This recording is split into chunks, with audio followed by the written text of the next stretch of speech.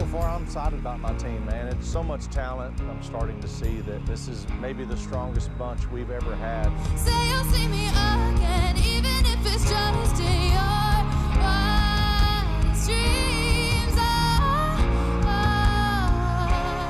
I think we really see the contrast in the development and the experience singing. The winner of this battle is Eva. I was really surprised with Eva, and she's doing the right thing. She's got a great voice. She's ready for this, and this is her moment. Even though we're going through it and it makes you feel alone, just know that I would die for you. Baby, I would die for you. Morgan, I do believe you were a bit more confident, and your tone is really just strong and powerful and beautiful. The winner of this battle is Morgan.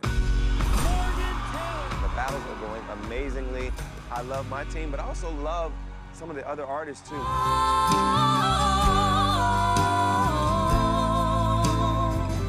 it'll all be alright. Be home tonight. I'm coming back home. Daysia, I was just so amazed with how much you've grown, and your spirit is incredible. God, this is a really hard one for me, but the winner of this battle is Daysia. Daysia, she has some growing to do, but she's really a diamond in the rough. Her voice can do so much. Daysia's special. She's such an old soul. I am so inspired by the talent we have this season. I'm seeing artists step up in ways that I didn't necessarily expect. So I'm gonna try to use my steal and my save wire.